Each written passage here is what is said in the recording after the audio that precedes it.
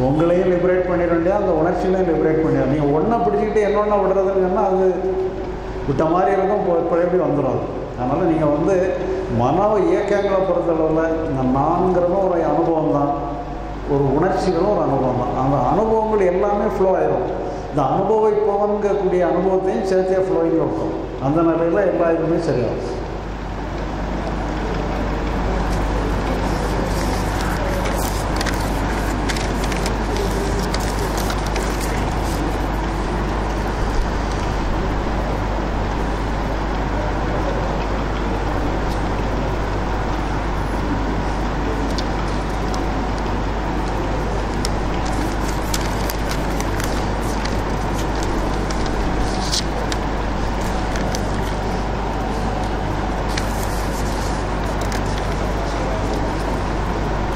விழிப்புணர்வு என்பதும் நுண்ணறிவு நுண்ணுணர்வு என்பதும் ஒன்றாவா?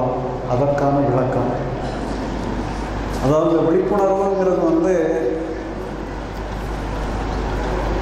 ஒரு பேசிக்கில் ஒரு ஆரம்ப காலத்துக்கு அதெல்லாம் தேவைப்படுற மாதிரி இந்த அவேர்னஸை பயிற்சி பண்ணுறது அட்டென்ஷனை பயிற்சி பண்ணுறது எல்லாம் வந்து பேசிக்கலாக நம்ம வந்து நம்மளை டெவலப் பண்ணுறதுக்கு இதெல்லாம் உதவி பண்ணும்.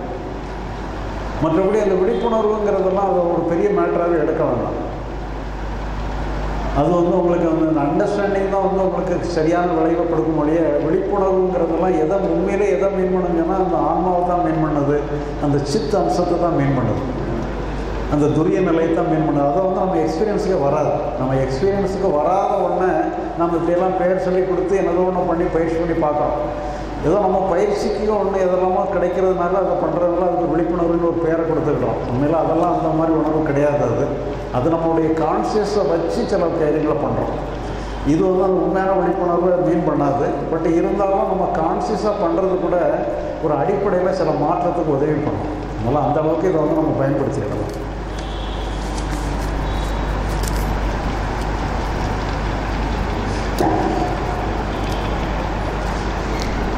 நமது செயல்கள் அனைத்தும் முன்ஜென்ம வினையின் காரணமாக நடைபெறுகின்றனவா? அல்லது தற்போது நாம் செய்யும் செயல்கள் மூலம்தான் நடைபெறுகின்றனவா? வினையை போக்கி பேரானந்தம் பெற எளிய வழி என்ன?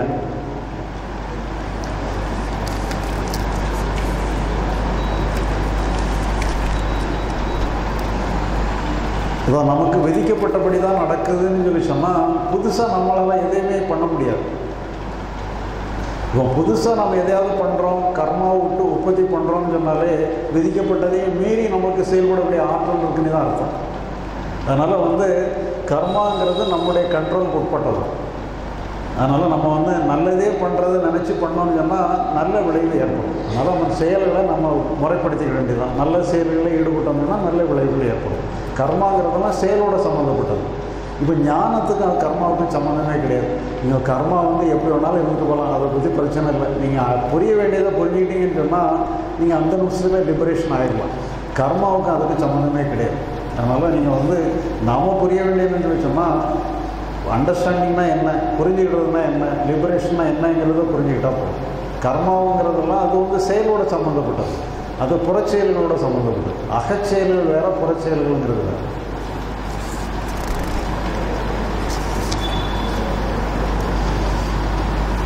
இறைவனை வணங்குவதால் மனதை சுதந்திரமாக இயங்க விட செய்ய முடியுமா?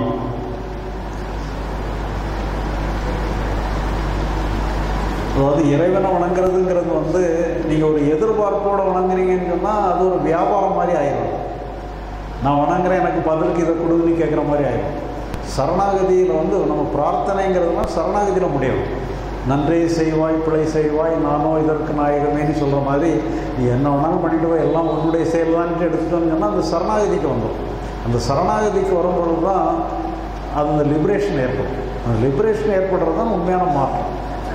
மற்றதெல்லாம் வந்து ஒரு மேம்போக்கான விஷயம் தான்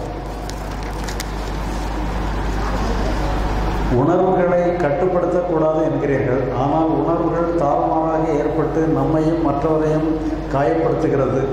கட்டுப்படுத்தக்கூடாது எனில் என்ன செய்ய?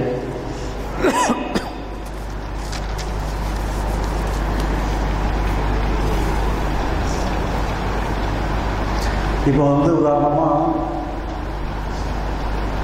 ஒரு கோபம் வருதுன்னு வச்சுருவோம்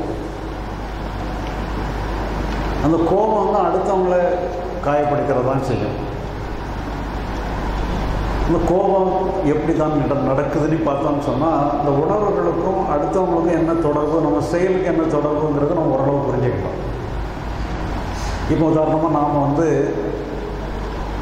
ஒரு வெளிநாட்டுக்கு போகிறோம் வெளிநாட்டில் இருந்து ஒரு கண்ணாடி ஒரு ஃப்ளவர் வாஷ் ஒரு கண்ணாடி ஜாடி வாங்கிட்டு வந்திருக்கிறோம். அது நம்ம டீப்பாயில் வச்சுருக்கிறோம்.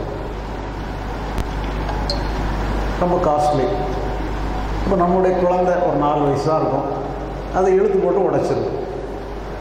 அதை பார்த்தோன்னா நம்மளை அறியாமலே ஒரு கோபம் வந்துடும் ஏன்னா நம்ம வந்து ரொம்ப ப்ரீசியஸாக வாங்கி வச்சுருக்கிறோம். அது சும்மா இழுத்து போட்டு உடைச்ச உடனே நமக்கு கோபம் வந்துடும் உடனே நம்ம என்ன பண்ணிடுறோம்? நம்ம இந்த கோபத்தில் நம்ம குழந்தைய ஒரு அடி அடிச்சிடும் இப்போ இதே மாதிரி வந்து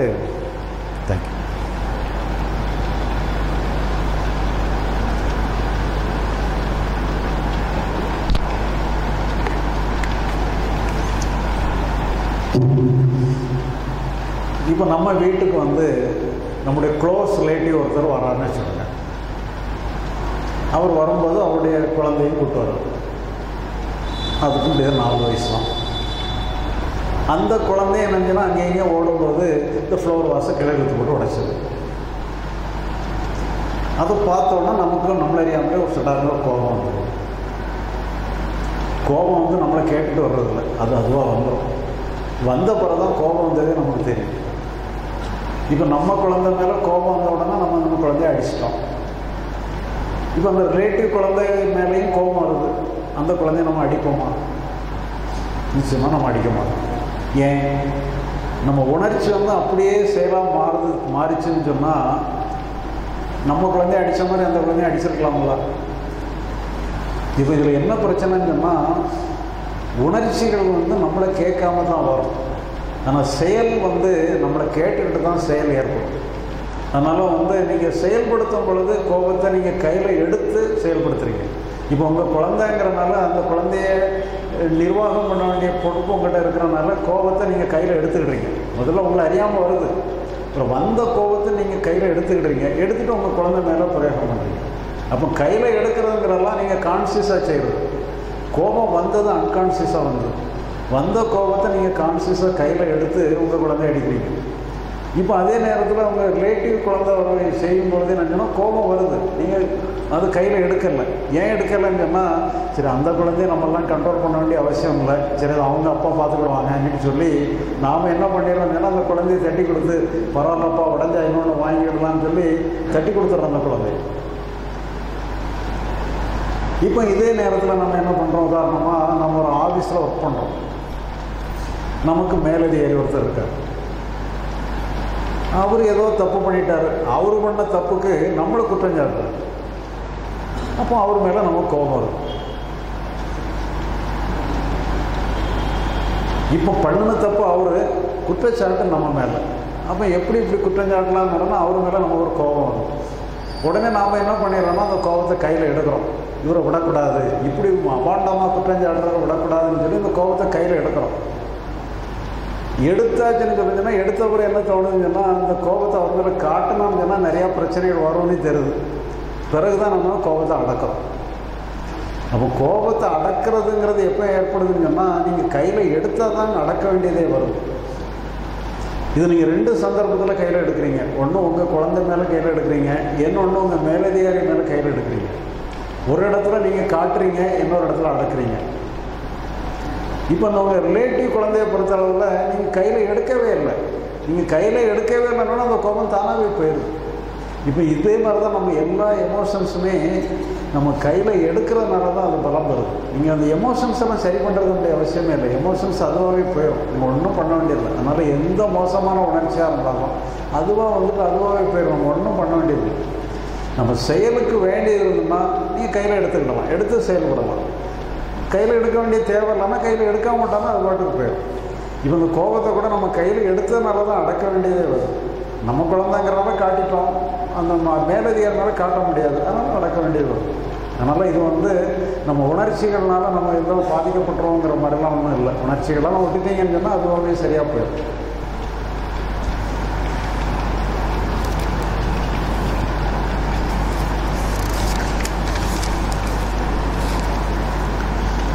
கடன் தீர்வு குடும்ப பிரச்சனை எனது மகள் மனைவி எப்பொழுது மனதுலவாகும் குடும்ப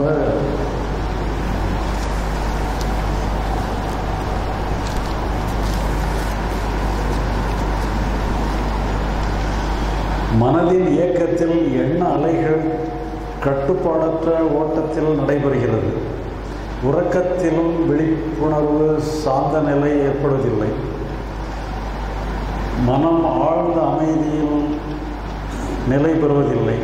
ஞானம் அடைவதன் மூலம் அமைதி நிலை ஏற்படுமாயின் வாழ்நாள் இறுதி வரை சீரான ஞான நிலை இருக்க என்ன செய்ய வேண்டும்?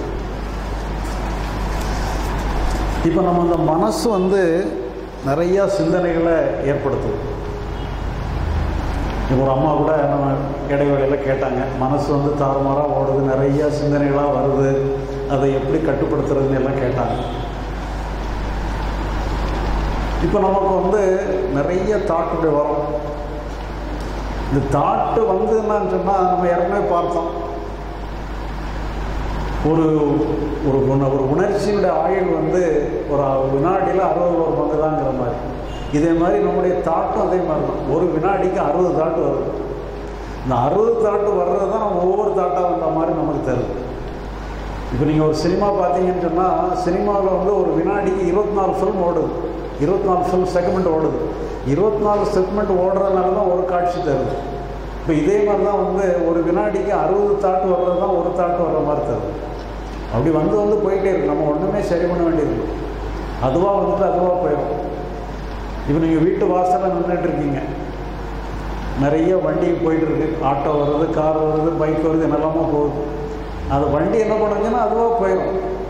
நீங்கள் அப்படி வர்ற வண்டியில் எதிலே ஏறி உட்காந்தீங்கன்னா என்ன பண்ணுங்கன்னா உங்களையும் சேர்த்து கொண்டு இப்போ இதே மாதிரி தான் என்னன்னு சொன்னால் தானாக வர்றதெல்லாம் தாட்.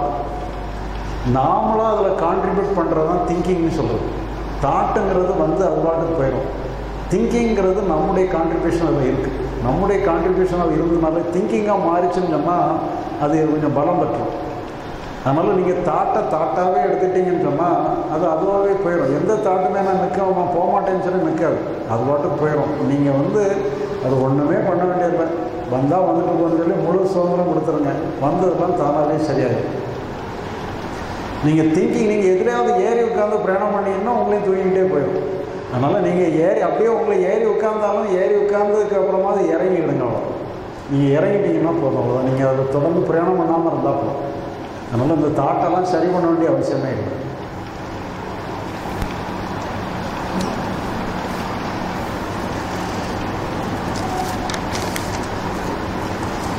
எனக்கு மன மனதில் எழுகின்ற மனக்குழப்பம் தீர்வு காண வழி கூற வேண்டும். எனக்கு மனதில் வெறுப்பு கோபம் போராட்டம் அதிகமாக உள்ளது. அதற்கு தீர்வு காணும் வழி. மனதில் தேவையில்லாத பயம் மற்றும் தேவையில்லாத எண்ணங்கள் தோன்றுகிறது. இதற்கு தீர்வு காண வழி. அதான் மனசை பொறுத்தளவில் நீங்கள் அதுக்கு முழு சுதந்திரம் கொடுத்துருங்க.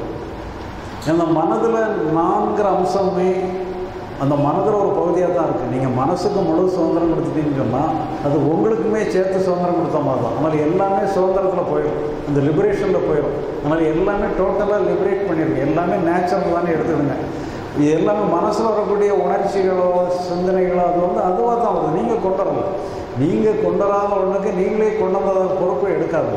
அதுவாக நேச்சுரலாக வருதுன்ட்டு எடுத்துட்டீங்கன்னு சொன்னால் அதுவே அது போயிடும் உங்களுக்கு தேவைன்னா ஏதாவது எடுத்துக்கிடுங்க உங்களுக்கு செயலுக்கு தேவைன்னு சொன்னால் தானாக வந்த உணர்ச்சிகளோ தானாக வந்த சிந்தனைகளோ உங்களுக்கு தேவையானதை எடுத்துக்கிடுங்க உங்கள் செயலுக்கு தேவையான வெளிச்செயல்களுக்கு தேவையானதை எடுத்துக்கிடுங்க அகச்செயல்களை வந்து நீங்கள் சரி பண்ண வேண்டிய அவசியமே கிடையாது. அதுவே சரியாயிடும் நீங்கள் அதுக்கு முழு சுதந்திரம் கொடுத்துருக்கு முழு சுதந்திரம் கொடுத்து அது எல்லாமே இயற்கையானது தான் நேச்சுரலாக வந்தது தான் நாம் எதையுமே கொண்டு வரல. அதுவாக தான் வந்திருக்குன்னு சொல்லி அதை நேச்சுரலாக எடுத்துட்டீங்கன்னு சொன்னால் அதுவே அதை சரி பண்ணிடும்.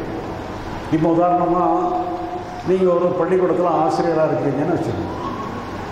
உங்கள்கிட்ட வந்து ஒரு முப்பது மாணவர்கள் படிக்கிறாங்க. அந்த முப்பது மாணவர்களுக்கும் நீங்கள் வருஷ கடைசியில் ஒரு தேர்வு வைக்கிறீங்க.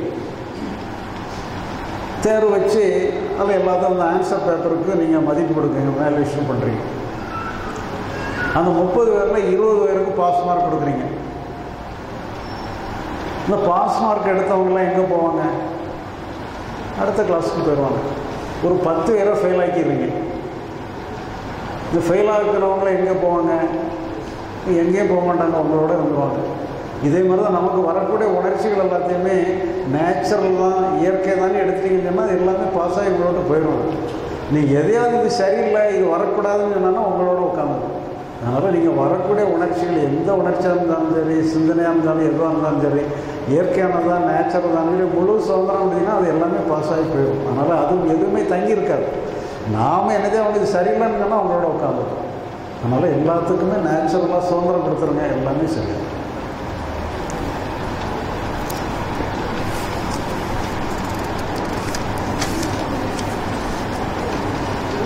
அன்பு பாசம் உணர்வு ஞானம் இவைகள் ஒன்றுக்கொண்டு தொடர்புடையதா? அன்றாட வாழ்வை ஒட்டி விளக்கவும். இப்போ நீங்கள் வந்து ஒரு குடும்பத்தோடு இருக்கிறீங்க. ஒரு பாசம் பந்தம் இதெல்லாமே இருக்குது நீங்கள் இதெல்லாம் விட்டுட்டு நீங்கள் உலகத்தையே திறந்து காட்டுக்கு வாங்க தியானம் பண்ணுங்க குகையில் வாழுங்கன்னு சொல்லி சொன்னால் அது அந்த காலத்து ஞானம் அது. இப்போ அதெல்லாம் ஒன்றும் அப்படியெல்லாம் போக வேண்டியதில்லை. நீங்கள் வந்து நீங்கள் பந்த பாசத்தோடு இருங்க. நீங்கள் நல்ல வேலைகளோடு செய்யுங்க. நல்ல சம நல்ல நிறைய ஏர்ன் பண்ணுங்க. வசதியாக வாழுங்க. எந்த பிரச்சனையுமே கிடையாது. நீங்கள் மனசில் வரக்கூடிய உணர்ச்சிகள்ங்கிறது வேறு. நீங்கள் புரட்சியில் நீங்கள் ஈடுபாடு காட்டுறதுங்கிறது வேறு. நீங்கள் பந்த பாசத்தோட ஈடுபட்டால் தான் குடும்பமே இருக்கும். நீங்கள் ஒரு அக்கறையோட தொழில் பண்ணால் தான் தொழிலே நடக்கும். நீங்கள் அதோட ஈடுபாடு காட்டுங்க.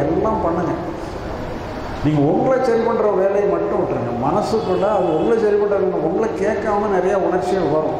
அந்த உணர்ச்சிகளை சரி பண்ணுற வேலையை மட்டும் விட்டுருங்க அவ்வளோ நீங்கள் அகத்தை பொறுத்தளவில் உங்களுக்கு ஒரு வேலையுமே இல்லைன்னு சொல்லி எல்லா வேலையும் சீரோ பண்ணிடுங்க எல்லாத்தையும் நல்லிஃபை பண்ணிடுங்க புறத்தில் நீங்கள் எப்படி வேணாலும் இருந்துங்க. புறத்தில் வந்து என்னன்னா புறத்தில் தர்ம நியாயங்க. தர்மப்படி நடந்துவிடுங்க நீங்கள் யாரோட நீங்கள் வந்து உங்கள் குடும்பத்தோட பந்தபாசத்தோடு கூட இருங்க. எந்த தப்பும் இல்லை. நீங்கள் எவ்வளோ வேணாலும் ஏர்ன் பண்ணுங்கள் நல்லா வசதியோடு வாழுங்க எந்த தப்புமே கிடையாது. நீங்கள் அகத்தை பொறுத்தளவு மட்டும் உங்களை இயற்கையாக எடுத்துக்கிடுங்க அங்கே செயற்கைங்கிறது இருக்கவே கூடாது. நீ உங்களுடைய பங்களிப்பு எதுவுமே இருக்கக்கூடாது. உங்களுடைய மனசு வந்து நேச்சுரலாக இயங்கும். நீங்கள் அதை நீங்கள் கற்றுக்கிடுங்க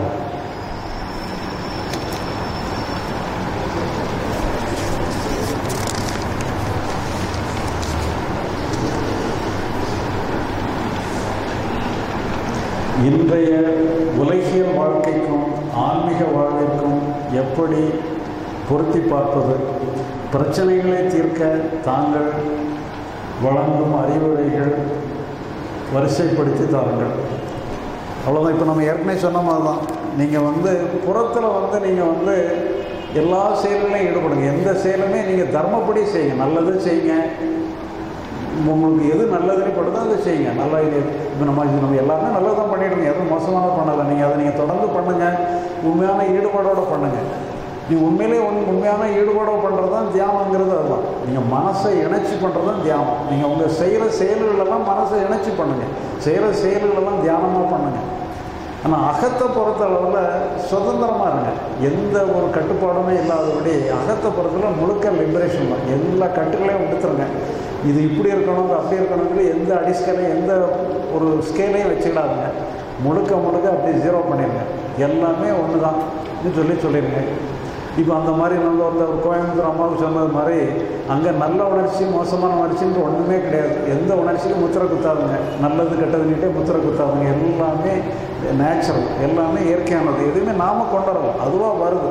அதுவாக வந்தது எல்லாமே இறைவனே கொண்டு வந்ததாக எடுத்துக்கிடுங்க. இறைவனுடைய பிரசாதமாகவே எடுத்துக்கிடுங்க. நேச்சுரலாக வந்துட்டு எடுத்துகிட்டு அதை அப்படியே விட்டுருங்க. அதுவாக வந்தது அதுவாகவே போயிடும் அதில் அவங்களுக்கு ஏதாவது தேவை இல்லைன்னா வெளியே உள்ள செ செயல்களுக்கு தேவை இருந்தால் அதில் இருந்து எடுத்துக்கிடுங்க. மற்றபடி நம்ம அக உணர்ச்சிகளை சீரமைக்கிற வேலையை மட்டும் விட்டுருங்க.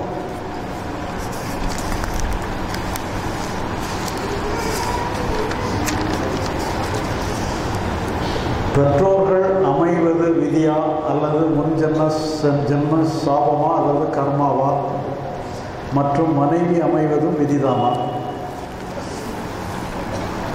அதாவது நம்ம வந்து கர்மாங்கிறதெல்லாம் வந்து முற்பிறவியினுடைய விளைவாக நம்முடைய பிராரப்த கர்மாவினுடைய காரணத்தினால இந்த ஜென்மம் அமைதின்னு நம்ம சொல்கிறோம் பட் பிராரப்த கர்மாங்கிறதெல்லாம் ஒரு உண்மையாகவே இருந்தாலுமே கூட புதுசாக நம்ம ஆகாமிய கர்மாங்கிறது நம்ம கையில் தான் இருக்குது அது பிராரப்தத்தையும் மீறி சக்தி உள்ளது. அதனால் நம்ம கையில் இருக்கக்கூடிய கர்மாவை நம்ம நல்ல முறையில் பயன்படுத்தணும்னு சொன்னால் அதையும் மீறி நம்ம செயல்படலாம். அதனால் எல்லாத்தையுமே நம்ம வந்து பாசிட்டிவாக எடுத்துக்கிடலாம். நமக்கு வரக்கூடிய சூழ்நிலையை வந்து நம்ம பாசிட்டிவாக அமைச்சுக்கிடலாம். நெகட்டிவாக எடுக்க வேண்டிய அவசியமே இல்லை. அதனால் எல்லாத்தையுமே வந்து நம்ம அதை வந்து எல்லாத்தையுமே ஒரு சாபமாக எடுக்கிறது எல்லாத்தையும் நம்ம வரமாக மாற்றிக்கிடலாம் நம்ம பாசிட்டிவாக எடுக்கிறதெல்லாம் சாபத்தை வரமாக மாற்றிக்கிடலாம் அதனால் நீங்கள் வந்து ஒரு கர்மாவால் அமைக்கப்பட்டதை கூட நம்ம நல்லதாக மாற்றிக்கலாம்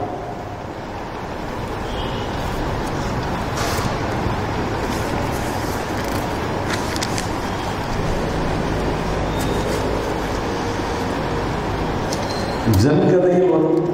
இயல்பும் செயலும் நீட்டு சொல்லி ஒரு கேள்வி கேட்டிருக்கிறாங்க. எனக்கு அந்த கதை என்னங்கிறதே மறந்து போச்சு. அது பிறகு இன்னொரு சந்தர்ப்பத்தில் அதை பற்றி பேசுவோம்.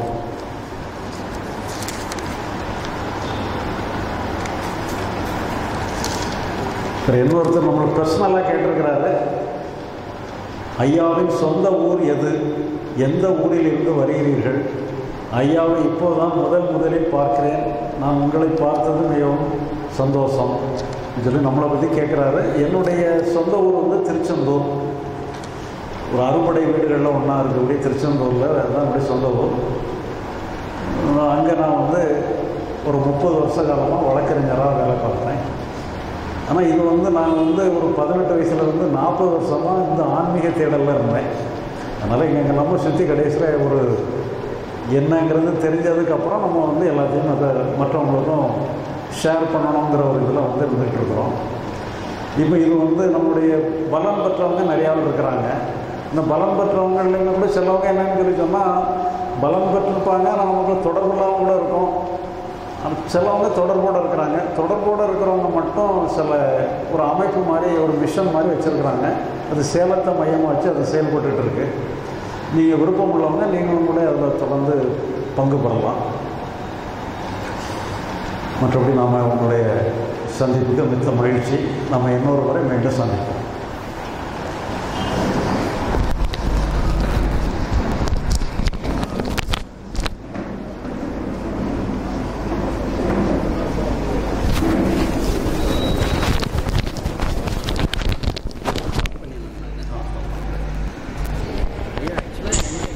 இப்போ இது ஒரு மைக் வச்சுருக்கோம் பாருங்க ஆமாம் ஃபஸ்ட்டு பேசுனது அவ்வளோ கிளியர் ஆடியோ இல்லை ஆனால் கேள்வி பதில் நல்லா ரெக்கார்ட் சரி அது எல்லாருமே கேட்குற அளவுக்கு நல்ல ஆடியோவில் ரெக்கார்ட் ஆகிருக்கு ம் அது அந்த மைக் இன்னுமே குவாலிட்டி இல்லை இது எவ்வளோ எஃபிஷியண்ட்டாக இல்லை விரைவு என்ன வேறு இதில் இந்த இந்த மைக்குங்க இது மைக்கு தான் இங்கே ஒரு ஹோல் இருக்கு ஆமாம் இதில் இப்போ இதை கனெக்ட் பண்ணியிருக்கேன் இது என்னோட ஆஃபீஸ் மைக்கு அது அந்த ஹெட்ஃபோன் இங்கே வருது இது நல்லா work ஆகுது.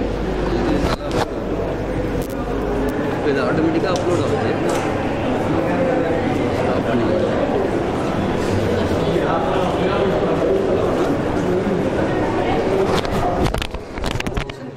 அதனால் அந்த ஸ்டாப் பண்ணிட்டாங்க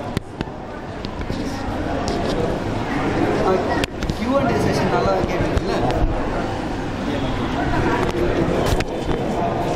ஏன்னா அது நான் என்னோட ஆஃபீஸ் ஹெட்ஃபோன் இருக்குல்ல அதை நான் கனெக்ட் பண்ணிக்கிறேன் யூஸ் யூஸ் பண்ணுறேன் அதில் நல்ல ஒரு ஆடியோ அந்த வாங்கின மைக்கை யூஸ் பண்ணுறேன் ரெண்டாவது செஷன் ஐ திங்க் நம்ம அப்லோட் பண்ணும்போது கியூ அண்ட் மட்டும் தனியாக அப்லோட் பண்ண முடியாதா? ஸ்பிட் பண்ணி.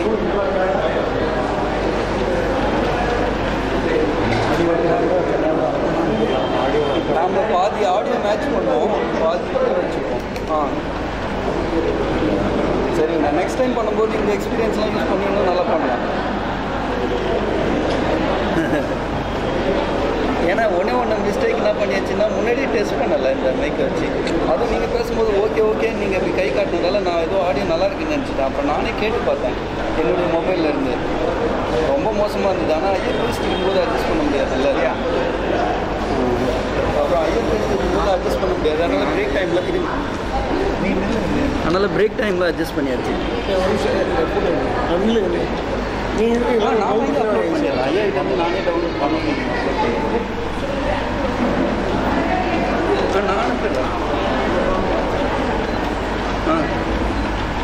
சரி நான் அதை பண்ணிடுறேன். ஐயாட்ட இருந்து இன்றைக்கே வாங்கி ட்ரைவில் நான் பண்ணி என்னுடைய ட்ரைவில் வச்சுக்கிட்டு நான் உங்களுக்கு அந்த வீட்டு அனுப்புறேன் எனக்கு ஒரு ட்ரைவ் நீங்கள் கிரியேட் பண்ணியிருக்கீங்க சரவணன் இல்லை இல்லை அப்சோட் இல்லை சரவணன்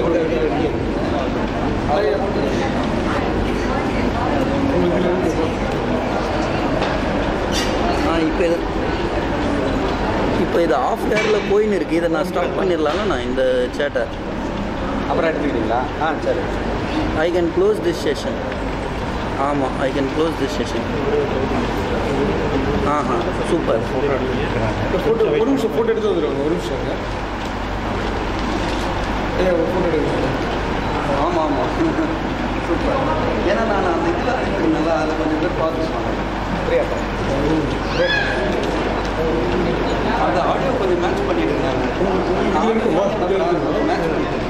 நான் இன்றைக்கே அனுப்பிடுறேன் உங்களுக்கு. பையன் கிளம்பி கொடுத்து நான் உங்களுக்கு அனுப்பிடுறேன் நான் பண்ணிடுறேன். ஐயோட அந்த ஆடியோ வந்து நான் பண்ணிடுறேன்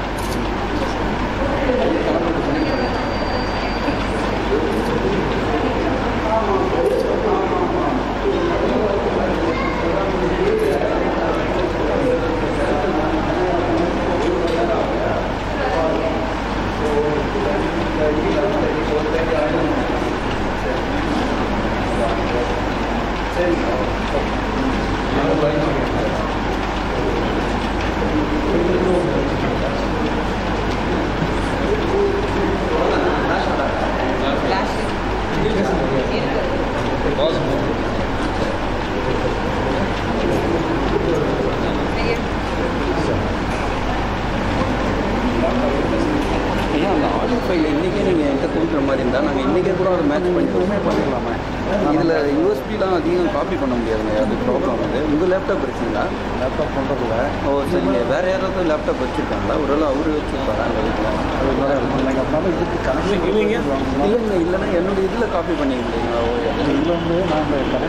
காப்பி பண்ணுறதுக்குள்ள ஒரு அப்பர்டஸ் எடுத்துறோம் இல்லைங்க அது அந்த கேபிள் தாங்க அது என்கிட்ட இருக்குங்கய்யா. இதுக்குள்ளே கேபிள் இருக்கா ஏன் இந்த கேபிள் இருக்குங்க என்கிட்ட இருக்கு.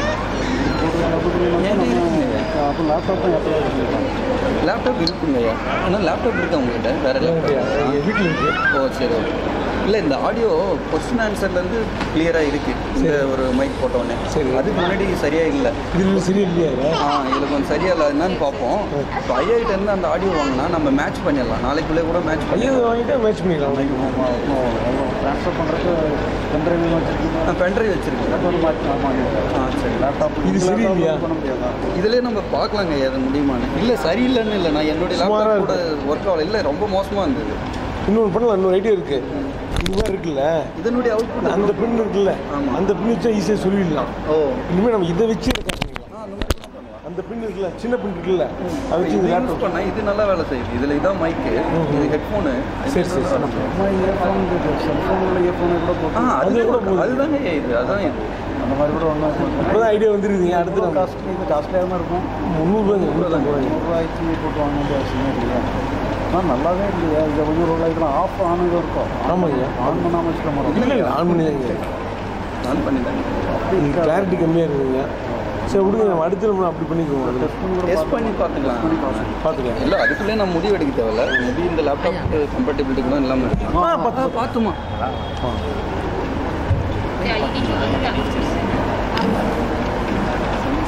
செந்தில் சாரா? Senthil sir. Sir Senthil sir. Senthil